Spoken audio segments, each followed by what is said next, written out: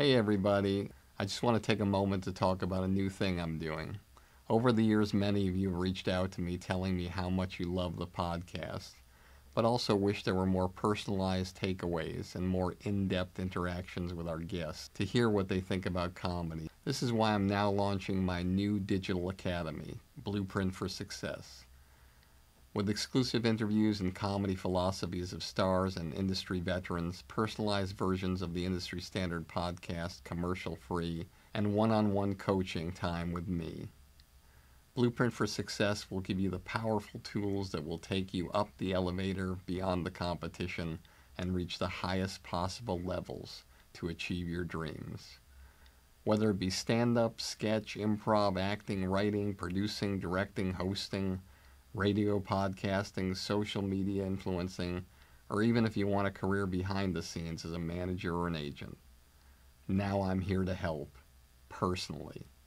We'll go on an express train of comedy and entertainment like nobody else has before. You can find out more about Blueprint for Success in the comedy business on my website at barrykatz.com. Together, we'll take your career where you want it to go. So Talansky, a good looking guy, but corrupt to the core, he knew that I hated him. And he would harass me in school. I was 12. And then one day, I, he embarrassed me in front of the whole class. The next day, I came in and I wrote an Aramaic saying on the blackboard from the Talmud He who embarrasses someone in public doesn't get to go to the next world.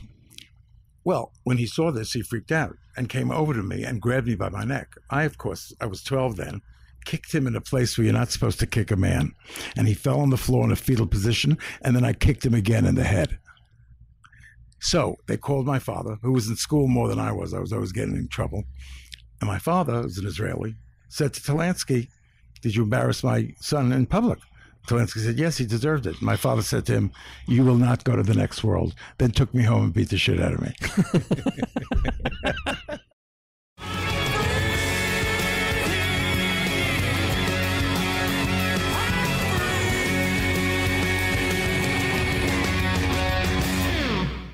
Hey, everybody, welcome back to another episode of Industry Standard with me, Barry Katz. Very excited about today and my guest, Academy Award winning producer Howard Rosenman. This episode, part one today and part two on Thursday. A lot of stuff in here is going to blow you away. I guarantee you. But before we get started, I just want to thank you guys so much for all your feedback, all your support. I greatly appreciate it. Thanks for subscribing, listening, and passing it on. It's amazing what you guys have done for the show, and I am very, very grateful. If you want to reach me, you can do so at Barry Katz at either Twitter or Instagram. And without further ado, let's get on this. This is a long introduction, but this guy has had an incredible, unbelievable, extraordinary career. Howard Rosenman is best known for being the producer of the remake of Father of the Bride, starring Steve Martin and Diane Keaton. The cult phenomenon Joss Whedon's Buffy the Vampire Slayer and The Family Man, starring Nicolas Cage.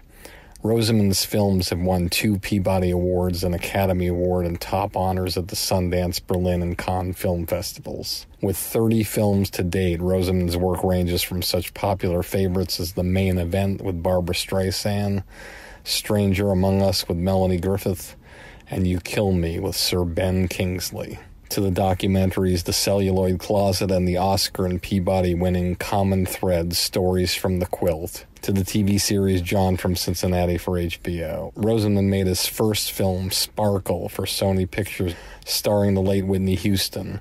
Rosenman's now preparing a remake of Israel's successful comedy Matter of Size at Paramount, to be directed by Jon Turteltaub from the franchise National Treasure.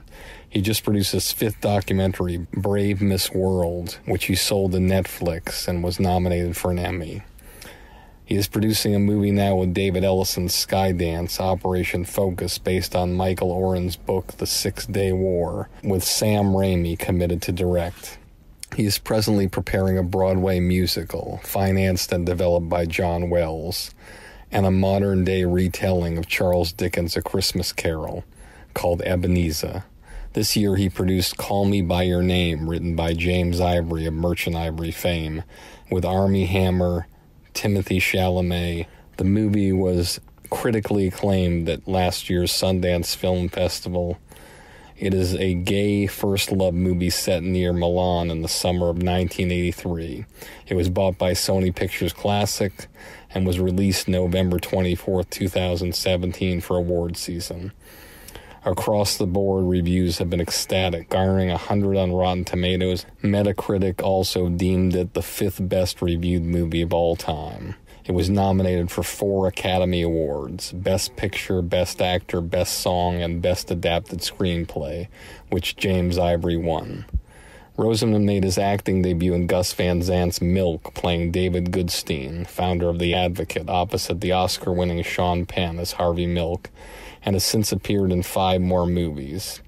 Rosenman co founded Project Angel Food, a lifeline to people affected by HIV, AIDS, and other life threatening illnesses in 1989. The organization prepares and delivers more than 2,000 meals per day, and in May of 2017, they served their 11 millionth meal. In 1967, Rosenman took a leave from medical school to serve as an extern medic in the Six Day War as part of his Israeli Defense Forces. There he met the genius Leonard Bernstein, who encouraged him to go into show business. For six years, he taught a master class in creative film producing at Tel Aviv University under the auspices of the Jewish Federation's Tel Aviv Los Angeles Cultural Partnership.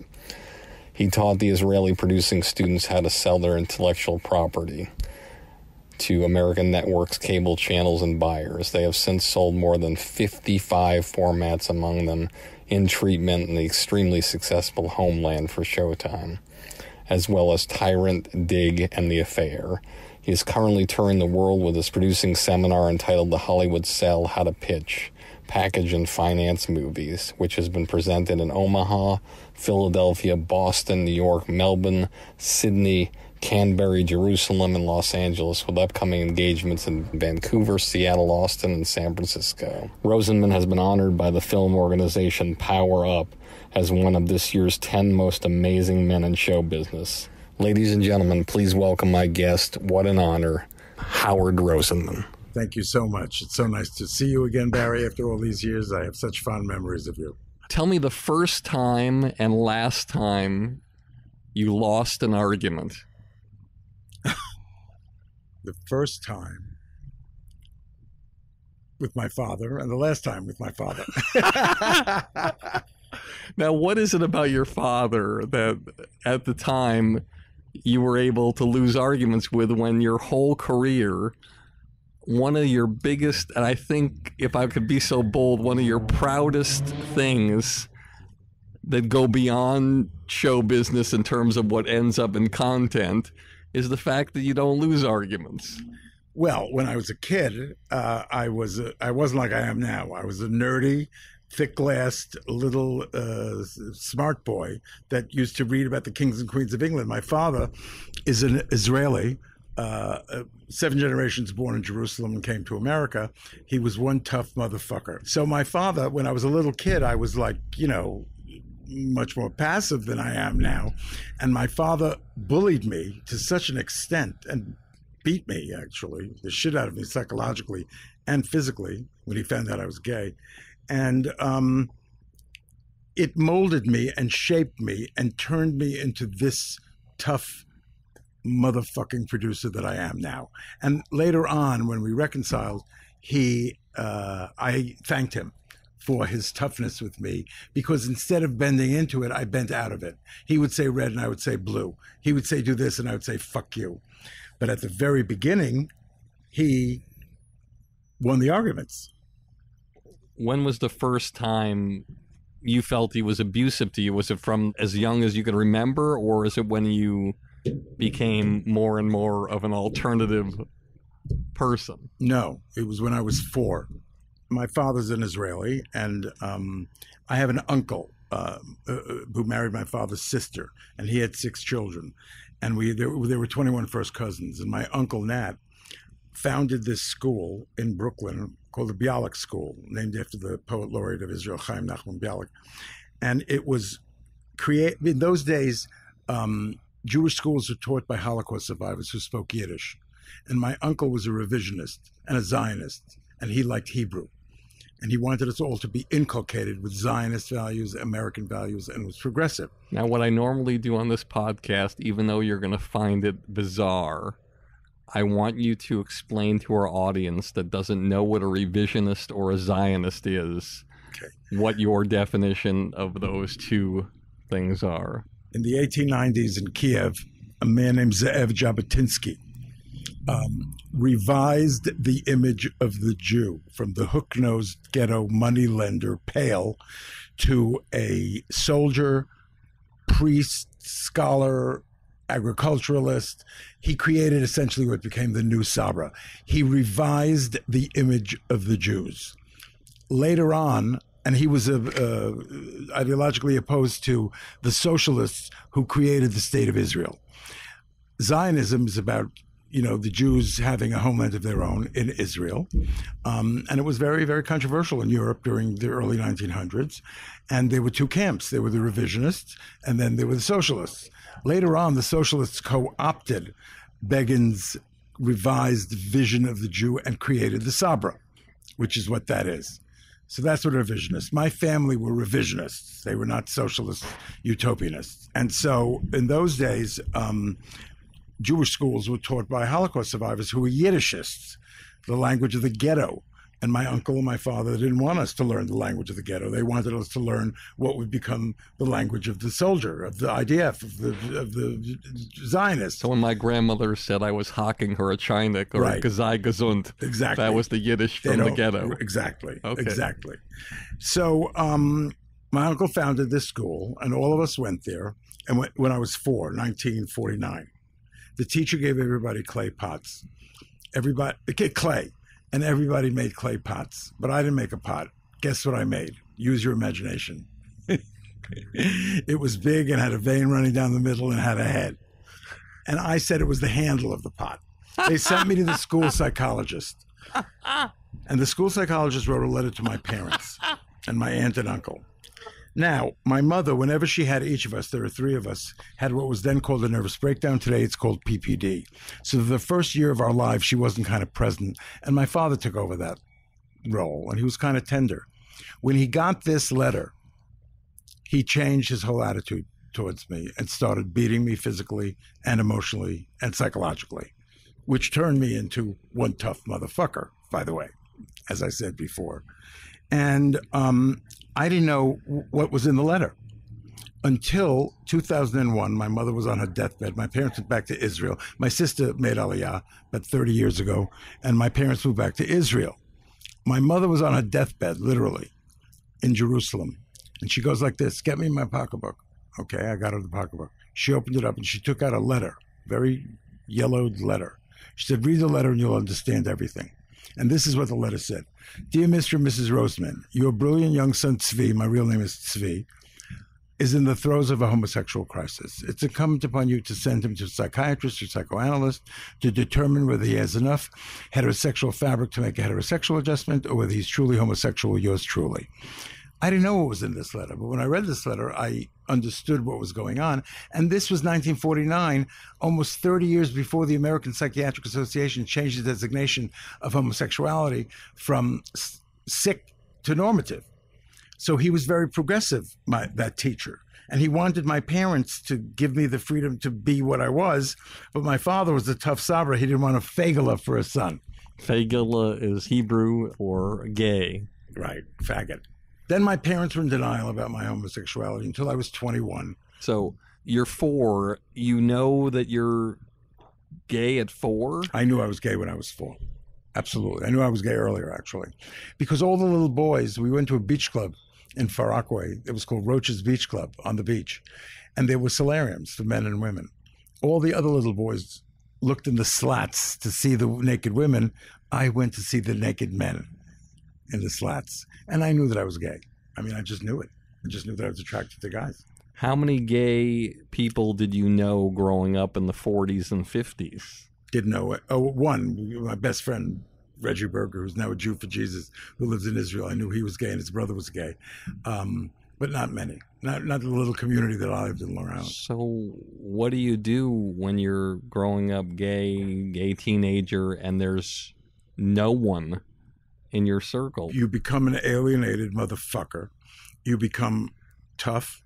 You are rejected constantly. You are made fun of constantly, and either you can become a wimp, or you can take it all in and say, "I'll kill these motherfuckers," and that's what I did. There's a quote that you have that I love that I'm going to read to you. It's one of my favorite things, and I've done so much research on you. I feel like I'm never going to remove you from my brain. this, this is the quote I'm an Israeli. It's like, fuck with me, I'll kill you.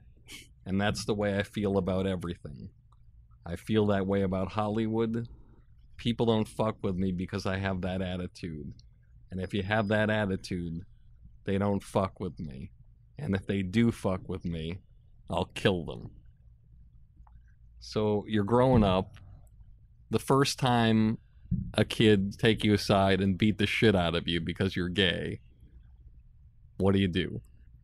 In those days, I succumbed to it. But later on, okay, when I was 12 and 13, I would fight back, and then I would take their arms and put it behind their backs and threaten to break the arm and then kill them. They didn't fuck with me anymore from the time I was 12. How do you learn how to do that? Uh, because my father was such a bully. I learned it at his feet. Okay? Because I saw what a bully was like. And the only way to bu- out bully a bully is to out bully the bully. And I learned that from my father because my father bullied me. And at the beginning, I succumbed to it. And then I realized, okay, I'll show him. And I got stronger and stronger and stronger until I said to my father, I'll kill you. Literally. Don't fuck with me. I'll take a knife and put it through your heart. But you never said that to your dad. I said that to my dad. When you were what age? At 12. So that's when he laid a hand on you and you said that to him and he never touched never you again. Never touched me again. Did he ever psychologically make fun of you again? he didn't make fun of me. He bullied me because he, he didn't want a, a, gay son, you know, and kept on bullying me, but never touched me again. Never. I remember interviewing this young producer, director, writer who you may know, Neal Brennan, who co created The Chappelle Show. Right. And one of the moments I remember the most that always struck me is he told me when he visited his dad on his deathbed. And he got up the nerve to ask his dad. He said, "Dad, it it feels like you never loved any of us, and even mom." And his dad looked at him and said, "You're right, Neal. I never did." Your dad, did you feel like he loved you less than everyone else in his family? Yes, but when my mother died in 2001, my father was in Israel. My father said to my sister, I have a, a sister who's six years younger than me, who's ultra Orthodox, who lives in Jerusalem. My father said to my sister, we, we realized we were too tough on Tzvi, meaning me. Because what happened in the intervening years, I became successful and I made a Barbra Streisand movie and I was making a lot of money. And my father looked at it and respected me because, and I'll tell you the story after the Six Day War story, you'll understand when he first said to me. Um, and um, after my mother died, my father died in 2008. My father never said, I love you, ever. Your and, entire life? Until after my mother died. After my mother died, he he would end the sentence, end a phone conversation or a conversation with "I love you." First time that happened, what did you do? I was stunned. Did you say "I love you" back? Yeah. I did. Had you ever said "I love you, Dad"? No. No, because I didn't. Then he was tough, and I was tough, and but I understand that in the context of the times. You know, 1949, it wasn't cool to be gay. Okay. Did your mother ever tell you she loved you? Yes, my mother was crazy about me, but my mother was complicated in her own right. But she was crazy about me and lived kind of lived through me. Well, she wasn't exactly happy you were gay either, was she? Not at all. She was she was unhappier than my father because later on, so I came out when I was four, and then I came out when I was twenty one. Came out when you were four. they found out that I was gay. are you so psychologically and intuitively in tune with the world that you can literally be in a room with any group of people and know immediately who's on your team and who's not on your team? It's called gaydar. Number one, I have that, and I have two other gifts that I have. My nose, my schmecker, Yiddish word for smeller. Um, I could smell talent, and I could smell corruption. I could tell you a funny story that I told my father's eulogy about corruption. I would love that. There was a man named Moshe Talansky, uh, Morris Talansky, and he was my teacher when he was 26 years old. He was a rabbi. He married a rich Jewish girl, and um, he, I knew immediately that he was awful and corrupt. I knew it. In fact, he was the one that bribed Olmert, which caused the government to fall okay, and and got Olmert out of power. So Talansky, a good-looking guy, but corrupt to the core, um, would um, he knew that I hated him, and he would harass me in school. I was twelve. He would harass me, and one day um, I hated him, and he knew that I hated him, and he hated me. And then one day, I, uh, he embarrassed me in front of the whole class. The next day, I came in and I wrote an Aramaic saying on the blackboard from the Talmud He who embarrasses someone in public doesn't get to go to the next world. Well, when he saw this, he freaked out and came over to me and grabbed me by my neck. I, of course, I was 12 then, kicked him in a place where you're not supposed to kick a man. And he fell on the floor in a fetal position, and then I kicked him again in the head. So they called my father, who was in school more than I was. I was always getting in trouble. And my father, who's an Israeli, said to Talansky, Did you embarrass my son in public? Talansky said, Yes, he deserved it. My father said to him, You will not go to the next world. Then took me home and beat the shit out of me. uh, I told this in my father's eulogy. Um, so, and Talansky later became the guy that brought down the government because he was so corrupt. And and there was a movie made last year with Richard Gere called Norman, which is about Talansky by Joseph Cedar, who was his nephew, the director. If you could have told a story, any story at your mom's funeral, what would you have told? Um, two stories. We were going to my brother's bar mitzvah in Jerusalem when he was 13, and we walked down to the old city. My mother was very feisty. How old were you at the time? I must have been 30. Joel Schumacher and I went to my brother's bar mitzvah at the Wailing Wall. And um, so we were walking, and my mother was slow. And I said to my mother, Mother, hurry up, you're going to be late to your own son's bar mitzvah. My mother said, Fuck the bar mitzvah. And then I said to my mother, How could you say that about your son? Fuck the bar mitzvah and fuck my son. How could you say that in the holy city? Fuck my bar mitzvah, fuck my son, and fuck the holy city. Joel and I made a T-shirt. Fuck the Holy City. Years later, when she got much more prudish, um, she uh, Joel Schumacher directed Julia Roberts in two movies, and um, years later, when Joel was shooting uh, Dying Young, my mother always came to Joel's sets, and Julia was then a young actress, and she was beginning to get, you know, Julia would say, "I want this and I want that." And my mother would say, Julia, good to want, don't mean you get. and Julia quoted my mother many times in People magazine, in the David Letterman show, as my good friend Simon Rosenman of Far used to say, good to want, don't mean you get.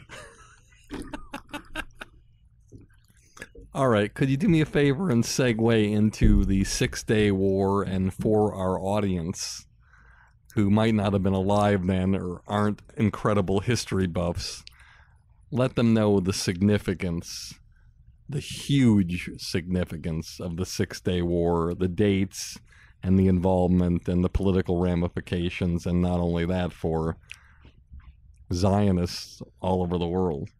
Well, the state of Israel was proclaimed in 48 um, by the United Nations in 47, but David Ben Gurion proclaimed the nation of Israel in 48.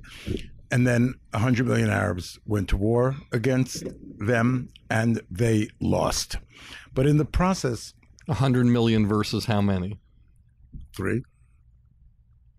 Um, So they lost the War of Independence, but they occupied the old city, the Jewish quarter, and the whole old city and all of West the West Bank. Well, Israel was like a rump state because they accepted the de facto division by the United Nations and the Arabs didn't. So when they lost the War of Independence, you know, a lot of the Arabs fled, which is the basis of a lot of the problems now, the refugee problem. And um, Israel started a state, but they didn't have the old city and they didn't have any of the holy cities because they had the Jordanians had it. Well, on May 5th of 1967, Nasser, who was the president of Egypt, blockaded the Straits of Tiran, which didn't allow food to go up all the Red Sea to Eilat to feed the nation of Israel. It was actually a casus belli. It was a cause of war. So during the time from May 5th, 67 to June 5th of 67, it was the time in Israel that's called a tension. There was universal male conscription. All my cousins would go to take the place of our relatives who had pharmacy stores and clothing stores who were called up to the reserves. And two weeks before the war, one of my cousins said to me, If war breaks out, we're going to go. And we all knew the war was going to break out. But it was only 19 years, it was only 20, 20 some odd years after the Holocaust. Okay. And we were ingrained with Zionist beliefs. And I went to Israel a lot. So I have a, I have the 1,000 first, second, third, and fourth, and fifth cousins that live there now. So then I'm my family genealogist. So um, what happened was I was in medical school at the time. So I decided to go two weeks early. And through a cousin of mine, I said I would be a what was today is called a lone soldier, volunteering for the IDF. I did an internship for about three or four days. They handed me a bayonet. And how old were you? 22, 20, 22 exactly. How many and gay men were in the army? A lot, because Israel has always allowed the gay thing to happen in the army because they need the population. And the army is the way that it's a melting pot. And so the Sephardim and the Ashkenazim, the gays and the straights, they all learn how to live together. Sephardic are Jews from the Levant and Spain and Portugal and all the Arab countries, and the Ashkenazis from Eastern Europe and Russia and the Pale of Settlement and all of Western Europe. And there was a big division, uh, and they were treated. The Sephardim were treated like the blacks were treated, um, but now it's much more equal. Growing up in the neighborhood, you were not accepted as a gay young man. Your dad beat you classmates tried to beat you until you stood up for yourself. When you got into the army, did you find similar people or were people all very accepting? Hey, we're fighting together as a team. I don't care. People in the Israeli army are very accepting. You know, very. Um, well, I mean, there's some there was some prejudice in the 60s now there's none but people in the army if you if if i knew someone was gay and even the straight people they were they were cool even in 67 so what happened was on the morning of June 5th of 1967 the Israeli Air Force rose up early in the morning flew around Egypt and bombed the entire Egyptian Air Force on the ground and destroyed it.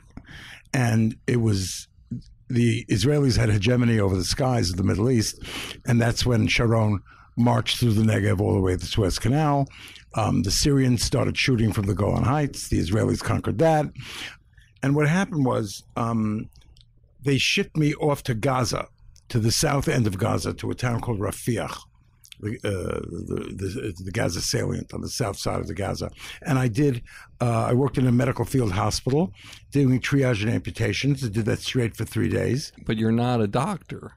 I'm a medical student in war times do they allow you to they allowed me because they needed. So i was i was doing assisting on operations assisting on amputations assisting on triage not operations. Tell our audience the first time you're there and horribly injured soldier comes in and you're face to face with something that you'd only heard about How are you? How do you react? Well, How I, do you don't handle forget that? I had done a rotation in medical school, my third year already in surgery.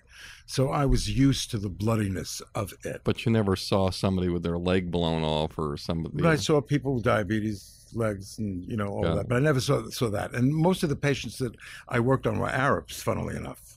Okay, because the Israelis, the Egyptian troops fled, and the Israelis bombed them, and And so they bombed them, yet they would help Yes. the Arabs and they would heal the Arabs, even though they were their enemies and Right. shooting at them. exactly.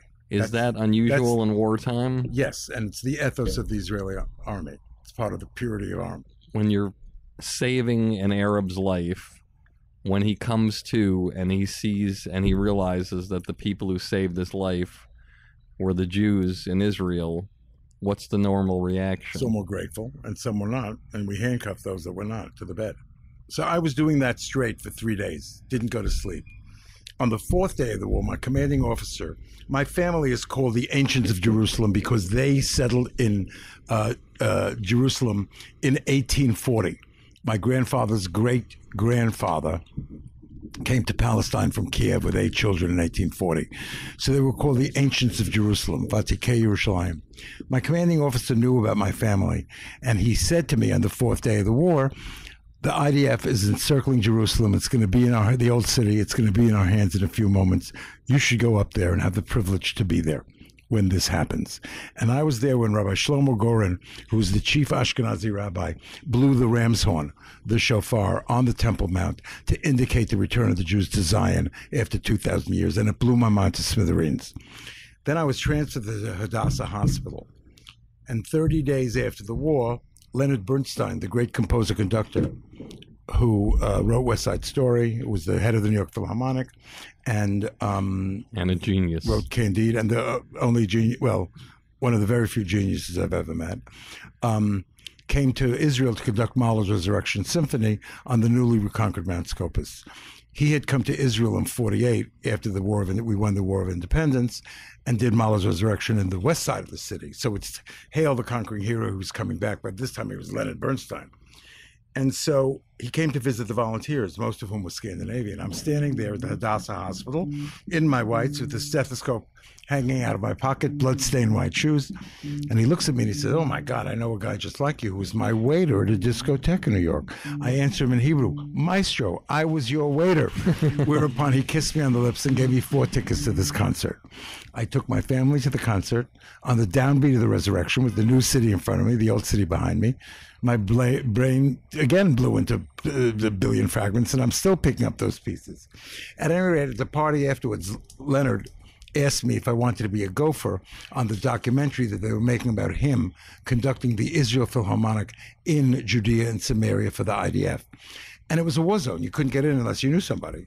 And so I wanted to see the, I wanted to see Jericho, I wanted to see Hebron, I wanted to see uh, all, all of Judea and Samaria. And so I became his gopher. And then one night, I walked into his tent and came out on the other side. which is unusual at that time because if I'm not mistaken and I've done my research correctly, he was married and had children. He was married and had three children, and he took me on vacation with his wife and three children. He always traveled with an entourage. Very good looking young men and very beautiful young women. But Lenny had a lover in Israel for 20 years. Did she know? It's a very famous story. Lenny was the Wunderkind when he was 21, 22 in the early 40s. It's so weird to hear somebody call Leonard Bernstein Lenny. I usually didn't call him to his face, Lenny. I called him the maestro. Um, but um, he, uh, I think he had written Fancy Free, and he was ready. Everybody knew he was going to become a genius, and they were all in love with him. Koussevitzky and Aaron Copland. Aaron Copland was unrequited, but Koussevitzky, I think, he had an affair with. Then Lenny was very promiscuous and very wild uh, in New York in the 40s. But not with women, with men. Yes. And then he met her. She was gorgeous, a Chilean, an actress, uh, whose grandfather was Jewish, but he converted to Catholicism. She, she had Jewish blood, but she was raised Catholic. She was very manicured. She was very beautiful, and she was brilliant beyond belief. Okay, when you were at dinner with her, she spoke eight languages fluently. So she would go from French to German to Italian to English. You you didn't believe what you were listening to, and brilliant. Well, he fell in love with her, and they had a relationship, a very hot sexual relationship. So he had never had heterosexual relationships before he Uh, met that her. I don't know, but I don't think so. I'm not sure. But I had a girlfriend for seven years. You know, in your 20s, you could stick it in any hole. I'll try to remember that. So, um, what happened was they had this very hot sexual relationship for months and months and months, and they got engaged. Did she know that he? No. Then he broke off the engagement to tell her that he was gay. She went back to Chile with a tail between her legs and then wrote a very famous letter to Leonard, Lenny, that said in the letter, I love you. I want to have your children. I want to be married to you. Just promise me that you won't embarrass me in public. He agreed. She came back. They got married. They had three children. They moved to Westport. Arguably, he wrote his best work, West Side Story and Candide, and um, maybe Trouble in Tahiti, when he was married to her. And then he became Leonard Bernstein with the Cape. And then he traveled all over the world and was the conductor of every of every symphony in the world, Vienna, Berlin, um, everywhere. And every night there was a line of boys who were all square jawed with cleft chins, curly haired, and curious about the world, and bright and Jewish. Okay? Online waiting for him. And then Lenny got sloppy.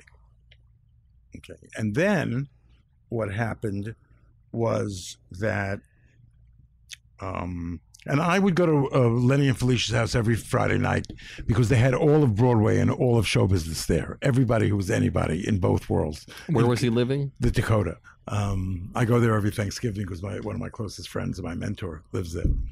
Um, and then, oh, so Lenny and I, so I would go there every Friday night. So you're standing there with Hal Prince and Jerry Robbins and, uh, you know, uh, everybody who was anybody in show business in the classical music world. It was very, very exhilarating. And I would tell everybody I want to be a producer. And they would pat me on the head and say, Oh, yeah, do you have an uncle who's in the business? Do you have money? And they all didn't believe me.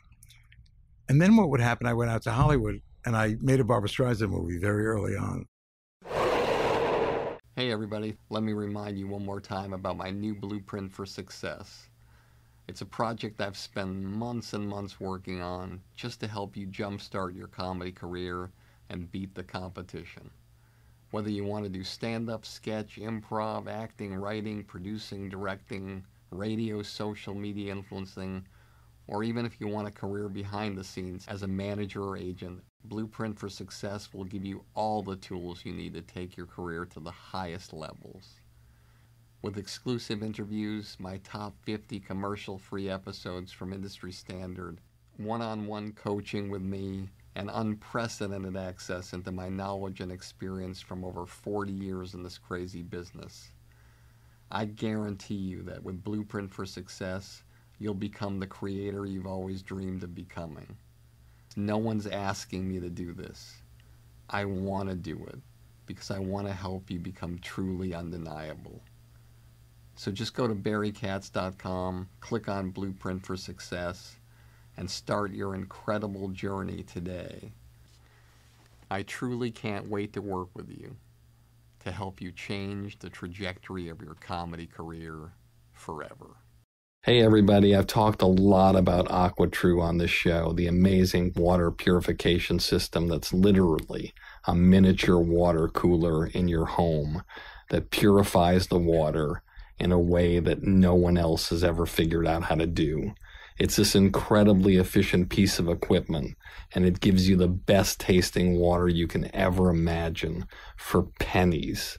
You just take it out of the box, plug it in, put your tap water in it, and it takes out all the bad chemicals and gives you the best and healthiest water you can ever imagine, saving you thousands of dollars each year from buying bottled water in the store. I have one at my house and office, and everyone who uses it orders one, and you should too. Just go to industrystandardwater.com and type in the promo code Barry, and if you act now, you can get $100 off and start enjoying the best and most cost effective water you've ever had, and never waste another dollar buying bottled water again. I just want to share another groundbreaking product with you. It's a revolutionary air purifier that will change the way your home operates. And I'm talking about the Air Doctor. The air inside our home can be up to a hundred times more polluted than the air outside. But with the Air Doctor, you don't have to worry about it as it removes dust, pet hair, mold, pollen, flu viruses, and so many other contaminants that circulate throughout our homes. Till now, the only thing that could come close to this product were systems that cost thousands of dollars. But now you can get the Air Doctor for a fraction of the cost, normally $600. And if you don't believe me, check Amazon. But for a limited time, I can give you 50% off and save you $300. Just go to airdoctorpro.com, type in the promo code Barry, and get rid of all the bad toxins in your home. I'm telling you, I have this product. It really, really works. So get one now and start breathing the cleanest and healthiest air you can ever imagine. So when you're going to Leonard Bernstein's house, you're still a medical student? No, I wasn't. When I was Lenny's gopher, Lenny would say to me, You should leave medical school and go into the arts. You will never bow to the mistress of science, Lenny said to me. And I didn't know what he meant. Then he took me on vacation with his wife and three children to Italy. She didn't know what was going on then. Okay. And um, when I went back to America in the fall of 67, I was assisting at an amputation and listening to Lenny saying to me, You'll never bow to the mistress of science. I decided to take leave of absence. So I came to New York. I said to Lenny, I'm here. I listened to you. He said, Well, you know, I'm married with three children, but I'll introduce you to two of my best friends. All right. So you go to New York. Now, presumably, you don't have a lot of money. Your parents certainly aren't going to financially support you because they don't support your lifestyle. You go to New York, the most expensive city in the world, even in 1967. How do you find a place to stay, have the money to survive, and do what you need to do to get to the next step? First, in order to survive, I sold ties at Bloomingdale's, okay, for a while. Then I became a driver on a movie set for Jordan Christopher, who was married to Sybil Burton. And then when I Lenny said I'm going to introduce you to two of my best friends, he introduced me to Katharine Hepburn and Stephen Sondheim. So I became Miss Hepburn's assistant on a musical called Coco. Who introduced you to? Lenny. Okay, so I became Miss Hepburn's assistant. But you have to interview with her to get the job. Yes, I interviewed with her to get Tell the our job, and I audience about the, job. interview with Katharine Hepburn. The only thing she said to me was, "Will you be on time?" She was a stickler for on time. She met me. She got a good recommendation from me from Leonard Bernstein. We sat. She was fantastic. Very to the point. Very. So I was Miss Hepburn's assistant, which is how I started making money. And then I got a job at Ben and Bowles, became a, becoming a uh, producer on commercials. First, I was an assistant, and then I became a producer. so you're Ben- paying your dues, working your way up in show business. exactly. What was your first inspiration growing up to get into show business? Was it that moment where Lenny said to you, "Listen, you're not going to be a mistress to medicine"? No, it was much, much earlier. What happened? When I was nine, my mother took me to see the re release of Gone with the Wind in 1954. Okay.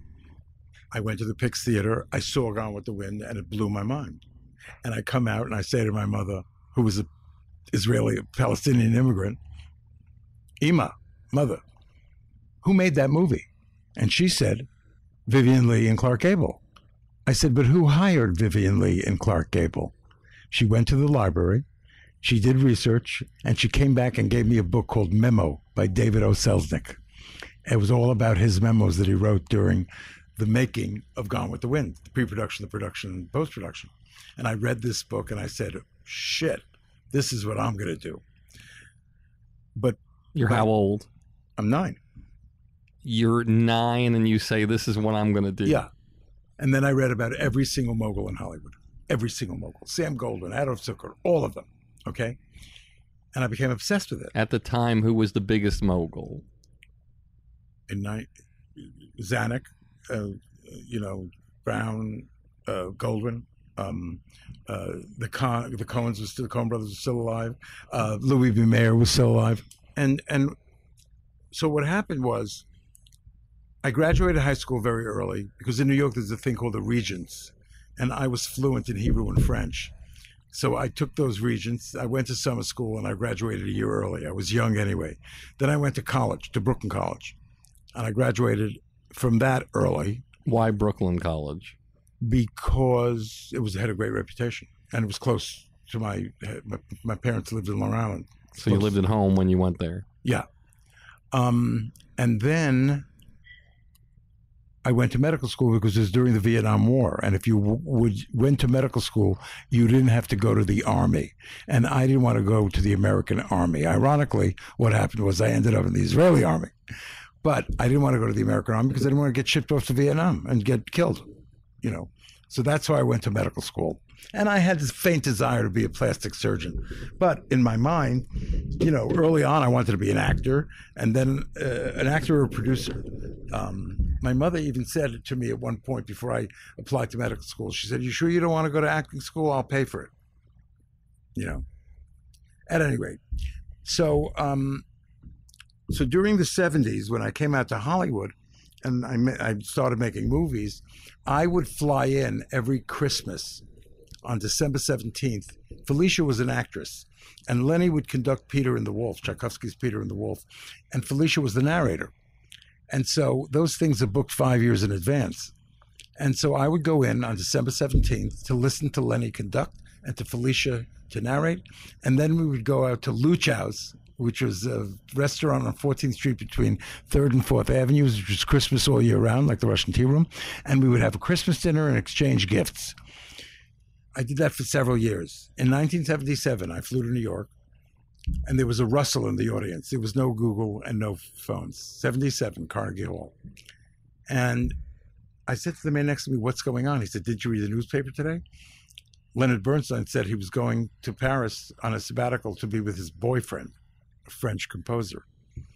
Everyone was wondering whether Felicia is going to appear to do the narration because it was the first time that the New York Times used the word gay. So Felicia came out and she does the narration, and Lenny's conducting. And at the end of the conducting, at the end of the Peter and the Wolf, his assistant brings him 100 roses. He goes up to the stage, walks across the stage to give his roses to his diva, Felicia, his wife. And as he hands her the roses, she pivots and walks off the stage, and the roses fall with a thing on the floor. The audience gasps. Needless to say, Felicia did not join me and t- uh, Lenny for dinner. I went. I was the shoulder that he cried on because he did love her, but he did go to Paris to be with his boyfriend on sabbatical. Four months later, or five months later, Felicia contracted lung cancer. Lenny came back to be with her until she died a year later, and he was never the same, ever. From 1978 or 79, when she died, until he died in 1990, he was not the same physically, he was not the same emotionally, he was not the same creatively, he was not the same psychologically. And he abused himself, smoked, he had emphysema, she died of lung cancer. And um, I was the shoulder that he cried on. He lived in the Dakota. Oh, yeah, I told you that. Incredible story. Incredible story. He was incredible. And I never met anybody like him, ever. Ever, ever, ever. Although I was very, Stephen Sondheim is pretty much a genius in that category. I guess Marty Scorsese and Francis Ford Coppola and Nureyev and Balanchine. I can't think of too many others. You said in the business you've only met really and been around a few geniuses. I find that very hard to believe. Because when I read these names, there's a lot of geniuses in here. Barry Diller. Well, Barry Diller is a genius, and David Geffen's a genius, yes. And Mike Ovitz was a genius, but not on the level of Leonard Bernstein. All from the William Morris mailroom. Right. Not on the level of, of Leonard Bernstein. There's no one on the level of Le- Leonard Bernstein. No one at all. It, maybe Gershwin, you know, maybe uh, uh, uh, what's his name, Aaron Copland. When you see what's happening today in music, but when you see a guy, let's say like Drake, who has 28 songs in the Billboard Top 100 right now in hip hop and rap, which is hugely popular now. And back then, obviously, what was happening was huge, and his world was huge. When you look at Michael Jackson, did you look at Michael Jackson the same as you look at Lenny? Kind of. Uh, Lenny has a special place in, in the firmament. Kind of, uh, yeah. He was a genius that way. Drake. Oh, okay, I'll tell you a story. My parent, my grandparents lived on Seagirt Boulevard, on the beach in Far Rockaway, and I would go on Shabbat. I would go up to to their roof, and you could see the skyline of New York from my grandparents' apartment on Seagirt Boulevard, and I would say, one day I'm going to get there and I'm going to meet Leonard Bernstein and I'm going to meet Edward Albee, another genius, and I'm going to meet Jerry Robbins and I'm going to meet Stephen Sondheim and I'm going to meet Nureyev or whatever. I often now say a kid who grows up in Far Rockaway and goes to his grandparents' house for Shabbat meal and goes on the roof in Seagirt Boulevard and looks out at the skyline of New York, who is he going to want to see? Drake? Mark Zuckerberg? not on the same level of Lenny Bernstein. Trust me. Okay. Drake is a very, very, very extremely talented guy. Tell me somebody in the music world today that's the closest to Leonard Bernstein in your eyes. No one. I mean, there's Michael Tilson Thomas, who's a friend of Lenny. There's, uh, what's his name here, uh, Dudamel. Um, maybe no one had the kind of there's never been a musical like West Side Story in the history of musicals ever. There's West Side Story and there's everything else. Okay, except Stephen Sondheim is in that Uh, area. One of my favorite lines from a comedian in New York named Mario Cantone, who you probably know. Him. He's a good friend of mine. One of his first routines was he said, You know, young gay kid, I'm watching West Side Story, and I was really upset because I felt like it wasn't realistic. I mean, you got these guys dancing through the streets of Spanish Harlem, and the guy's yelling up, Maria, Maria, Maria. And only one girl's head popped out of the window. That's funny. But I mean, think about it. I mean, and Lenny not only was a composer, he was a conductor. And not only was he a conductor, he was a great teacher. If you look at the Young People's concerts, they're all on tape. You've never seen anything like this ever in the history of the world. Well, the thing about him that was always so fascinating to me is that he appealed from drool to drool, from the youngest Yeah. to the oldest. Yeah. I was crazy about him and obsessed with him when I was a kid. So when I finally met him in Israel in the summer of 67, when he was 48 or 49, I guess. Uh, wait, how old was he? So in 19, he was born in 1918. So in 67, he was how old? 49. So, and I was always, I always liked men that age. You liked older men. So your first entrance into show business, you're assisting these people, Katharine Hepburn, and what's your first foray into? Okay, I'm going to produce my first movie. How do I do it? How did you make it happen? How did you figure out? How did you navigate? How is somebody going to believe in you, Katharine Hepburn's assistant, and say, "Hey, I trust this guy to produce a movie"? I'll tell you the story. It's a great story. The first week that I left medical school, I went to a party that Tennessee Williams agent Billy Barnes brought me to. And it was a party for doctors. And there I met a young man named Barry Diller. I don't know what he was doing there because he was the doctor. He had just invented the movie of the week at ABC. He was a Wunderkind. And Barry and I hit it off. And Barry would say to me like this I don't trust or like a lot of people, he said to me. But I like you. You're smart. I like smart. He said, Do me a favor, he says to me. Don't ask me for anything. Don't ask me for house seats. Don't ask me for tickets to Madison Square Garden. Don't ask me for anything. But when you're ready, ask me for one thing, and I'll do it. And then don't ask me for anything ever again. And I thought about that. And I was it was strange.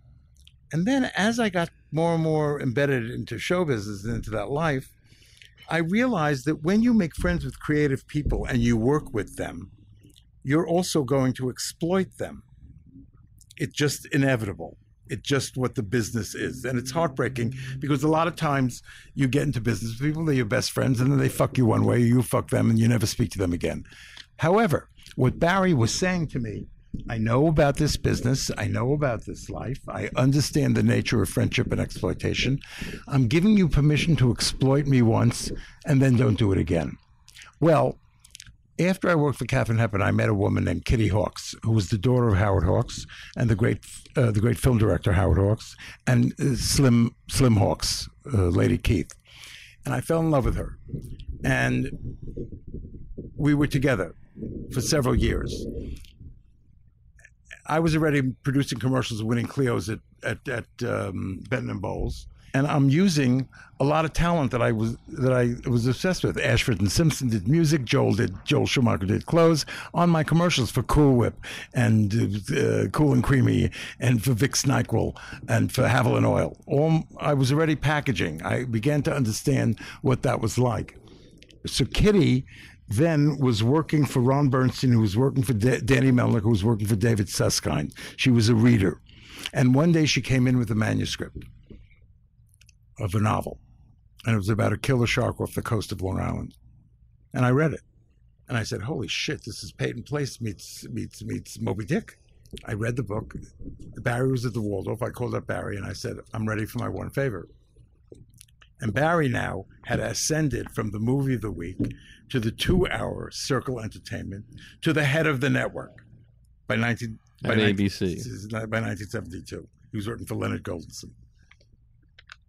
And so I go to the Waldorf. I tell Barry about Peyton Place meets Moby Dick. I don't own the material, but Barry said, That's great. Sounds like a great TV movie. Fly out to California and meet the head of my 90s, who was named Dean Barkley. They made a 100 of them in those days. The head of my 90s. The 90 minute movies. At the Oh, week. okay. And in those days, and so sh- she loved this idea. And she said, I want to make this. So I flew back to New York to have lunch at the Russian tea room with the writer who fell in love with me. And the agent, ugh, I forget her, Roberta, fuck her name, she had white hair. At any rate, um, so at the time, ABC was offering, well, a producer had the right to own the movie after the network ran it for two runs. They made the movie four hundred twenty-five thousand dollars. If you came in for less, you kept it. If you went over, you had to fund it. The overages. It was a big business in those days because you owned all the ancillary rights all over the world. So the 90 minute movie budgets for $425,000. Now, a lot of people cut their teeth. What would that be like now? How much money? Two million. Okay. Um, so if the budget was four hundred twenty-five thousand dollars, ABC offered the agent of this writer ten thousand dollars for the basic material and ten thousand dollars for the screenplay. Twenty thousand dollars, five percent of the budget, essentially. Okay. Well, the agent said we were expecting a little more. So Barry said, "I'll introduce you to the head of my two-hour motion picture. That's a million and a half dollar budget. They pay seventy-five thousand dollars for the basic material and seventy-five thousand dollars for the screenplay." So I went to the head of the two hours, Dick Bassman, ABC Circle Entertainment.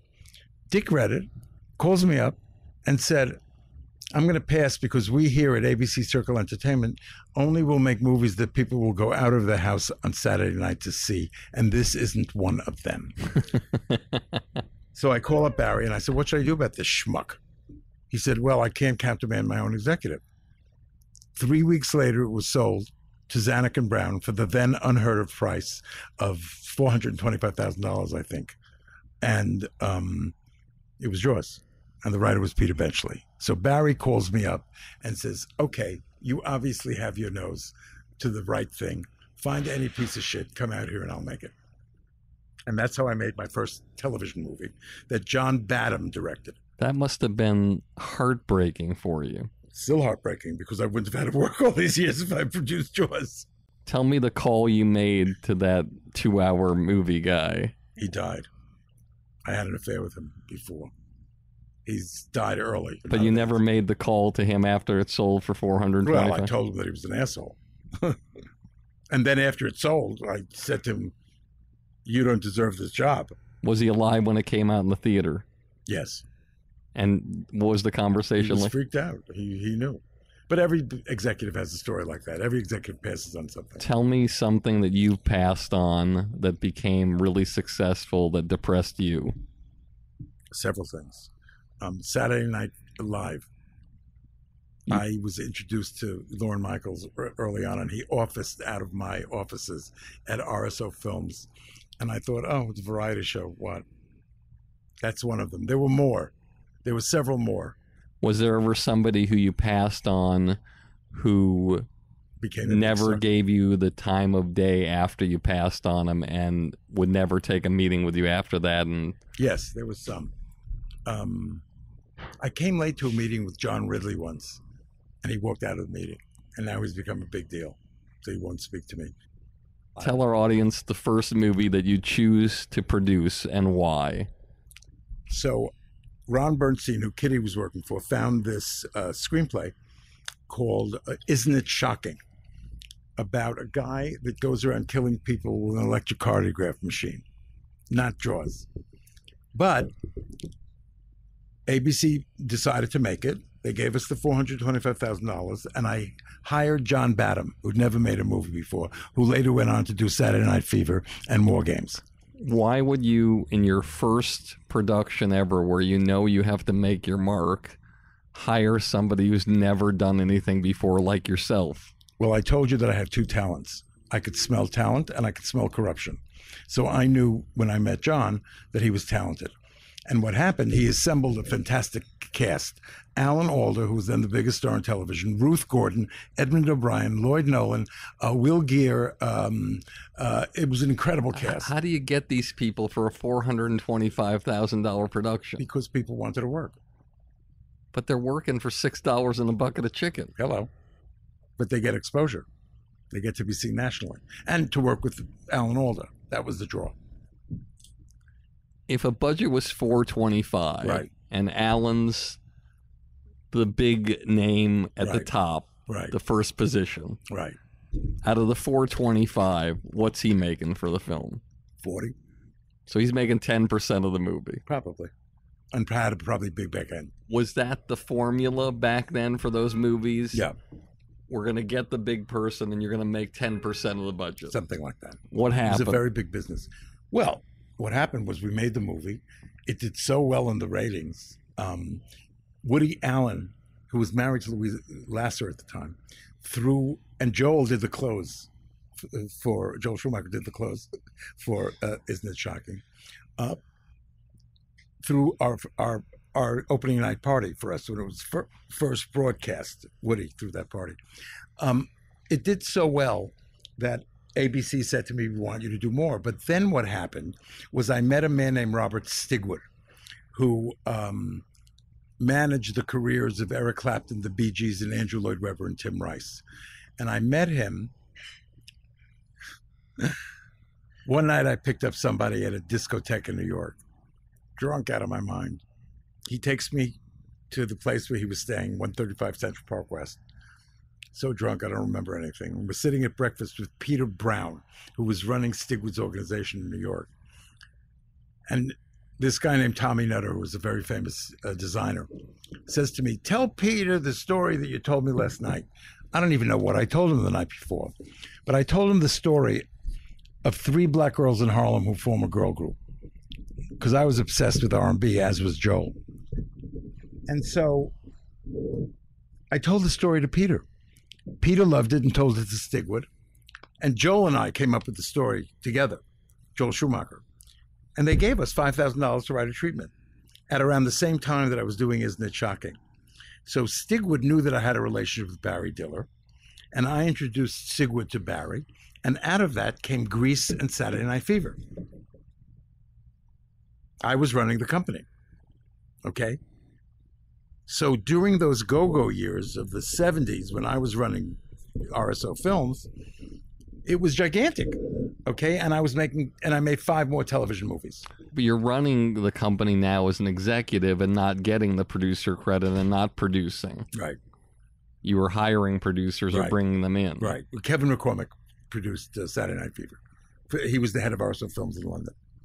And he became the producer. He found the material. Now, after three to five years of success, sitting across from you, the way I'm sitting across from you, it seems to me you're the kind of guy who would be the first person to go in and say, listen, I love this job. I want to continue, but from now on, every movie I get a producer credit on it too. Well, that's what happened. So I made five television movies, and then I went out and I made Sparkle, which I got sole credit on. Sole producer credit. Produced by, but Siggy and Stigwood and Peter Brown got executive producer. Why would they give you sole for your first one? Because I wrote it. I wrote the story with Joel. And Curtis Mayfield wrote the songs, and Aretha Franklin recorded the soundtrack. We didn't release the soundtrack of the movie. We released Aretha recording Curtis Mayfield's soundtrack of Sparkle. Curtis Mayfield, for those of you who don't know, most famous song was Superfly. Right. And, and Shaft, I think, too. No? And Shaft, yeah. So after then- Sparkle, um, I then made a movie. I had I had left running Stigwood's company and became a producer. I produced Sparkle, and then I produced the main event, Resurrection. That was Barbra Streisand and Ryan O'Neal. Exactly. So, when you're producer, as the audience doesn't know, a lot of times you put elements together from scratch. So you're reading a ton of different screenplays, and your company, I presume people were working for you reading screenplays and they were recommending things to you, or was it just you? No, Kitty Hawks. After I broke up with her, came out here, became an agent, and then I introduced her to Ned Tanen. But she was an agent at ICM or IFA, it was called at the time, and she had a client named Renee Missel. Renee Missel had an idea that was based on the Lina Wertmuller movie called uh, not Seven Beauties. What was the movie that she made before that? It won an Oscar for Best Foreign Film. Swept Away Yes. which was essentially a communist dialectic. It was about a woman who had ownership over a man. Okay, it was a communism capitalism, what she was dealing with. Renee said to me, "Let's make Swept Away, a remake of Swept Away." And I think we both came up with the idea that actually it should be a woman that owns the contract of a boxer. So Kitty introduces, and I had an idea about a female Christ figure. Um, I was in Jerusalem in 1975 on Christmas Day visiting my parents. My parents moved back. And I went to the old city um, on Christmas morning of 75. It was gray and foggy. I was on the Via Dolorosa, the street of, of, of tears where Jesus carried the cross, all the stations of the cross. I was at the sixth station of the cross and I looked at the seventh. I think it was Veronica's Veil. And I see a woman with a golden halation, an aura around her. And I say, wow, what if Christ came back as a woman? And that idea I told to Kitty. Kitty's husband, well, Kitty's husband was Ned Tanen, who was the head of Universal. So Kitty introduced me to Renee. So Renee had this idea about a woman who had ownership over a boxer, and I had this idea about a female Christ figure, and we decided to form a company. And we made both those movies. Okay, it was a long process, very, very long process. It went through a lot. That's a masterclass in and of itself. But eventually, we So you get somebody to write the screenplay. right. Presumably, it takes them around six months or less to write it. It took longer, and it was the first screenplay was a piece of shit. So when the screenplay finally gets to the place where you love it, do you have a list for the woman, a list for the man, and where is Barbra Streisand and Ryan O'Neal on the list? Are they number one on the list, or are they way down on the list? It's a great story. Another great story.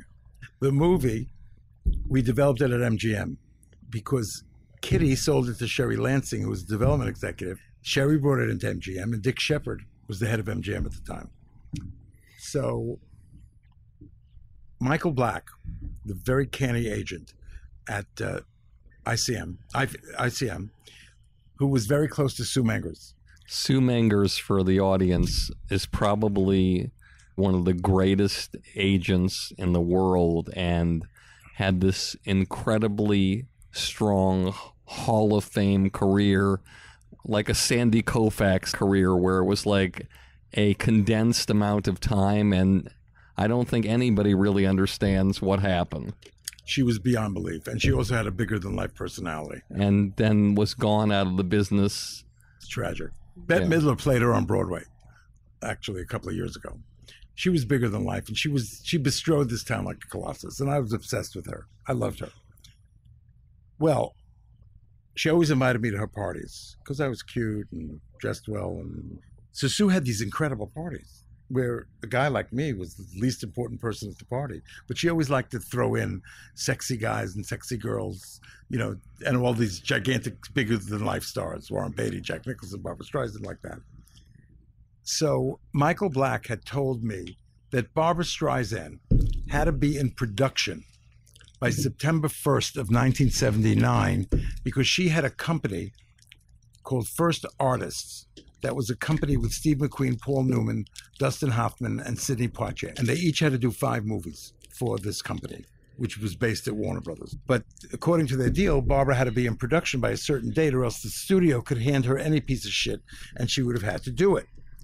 Now, at that time, uh, Diana Ross was having an affair with um, with um, Ryan O'Neal. Sue had just signed Diana, so I called up Sue, and I said, "I have this script. It's not great. It needs work. It's at MGM. You could recreate the What's Up Doc package with Ryan O'Neal and Diana Ross because Diana and Ryan were having an affair. Had there ever been a film at that time No. with a love story between an No. African American person? It? No, no. So, and that was what was I thought was interesting about it. I was obsessed with Diana because I made Sparkle, which is about Diana's relationship with Berry Gordy, in my mind. So, Sue reads it, calls me up, and says to me, "How would you like Howard Rosenman presents Barbra Streisand in the main event?" I said, "But I gave it to you for Diana," and Sue said, "Fuck the." and she used a vulgar name, a Yiddish for a black person. She said, "Let's go with Barbra," because she knew that Barbra had to be in production. So she gave it to Jon Peters. Jon Peters loved it. Barbra never liked the script and hated the movie, I might add. Um, but She hated the movie after it was done, or yeah, she hated the movie. Yeah, still does. Hates me. Because what happened is she tried to fuck me on the deal, and I turned the tables on on them, and I didn't let them, and I got even more money out of it. So we made the, the movie, and the movie made a lot of money. And to this, and I was a net player. Explain to our audience gross player versus net player. A gross player gets points of the gross of what the movie actually makes at the box office. which is actually much more advantageous. Right. A net player is after the distributors and the exhibitors take off all their expenses, then you're a net player. But still, back then it was good because back then people didn't fuck you as much.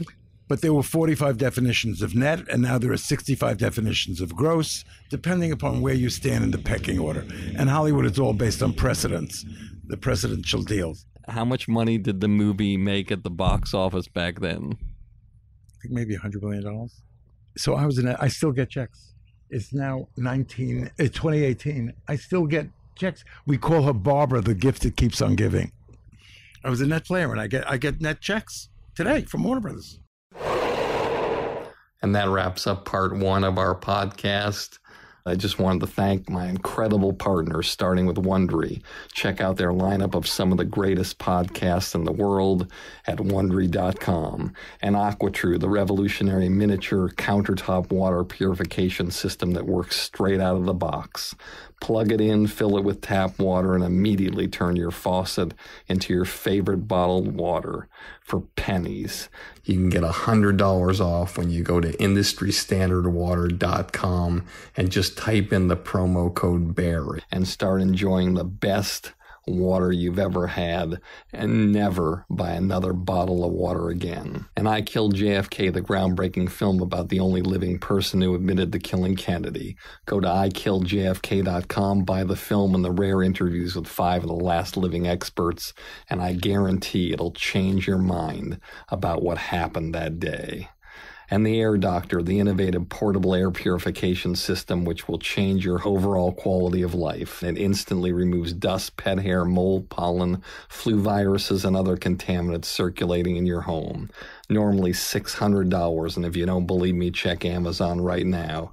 But for a limited time, I can offer you 50% off. That's a $300 savings.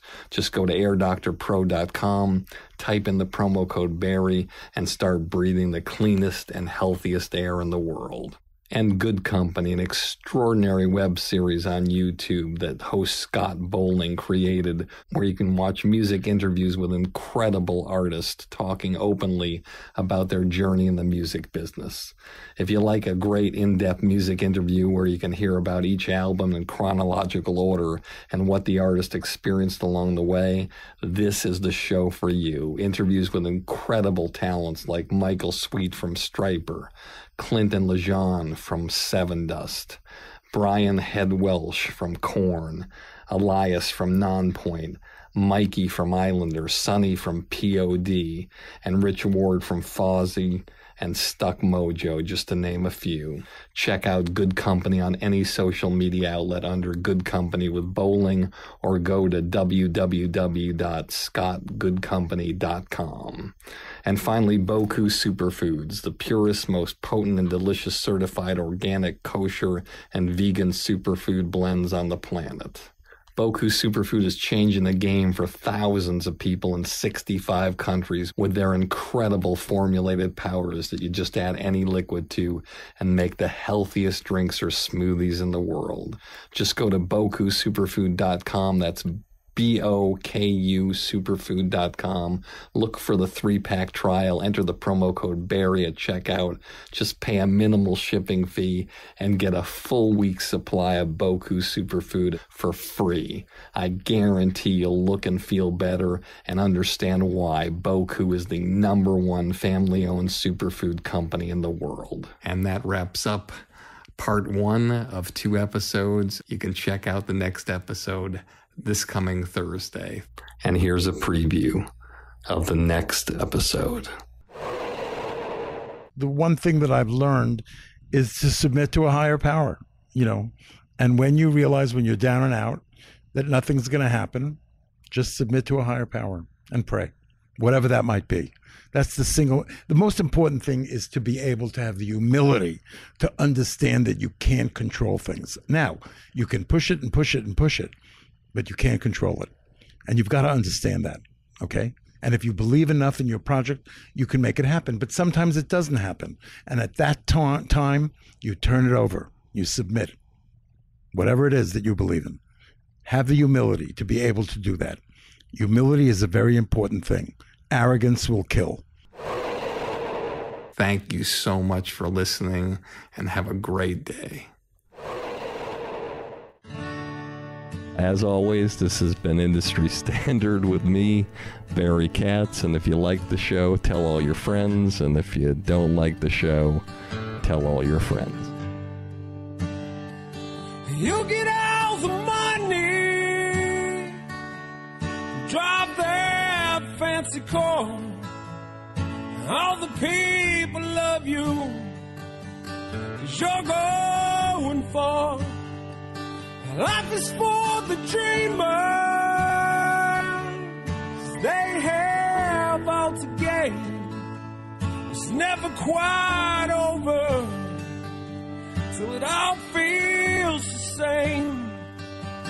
You pick your own poison, dig your own grave down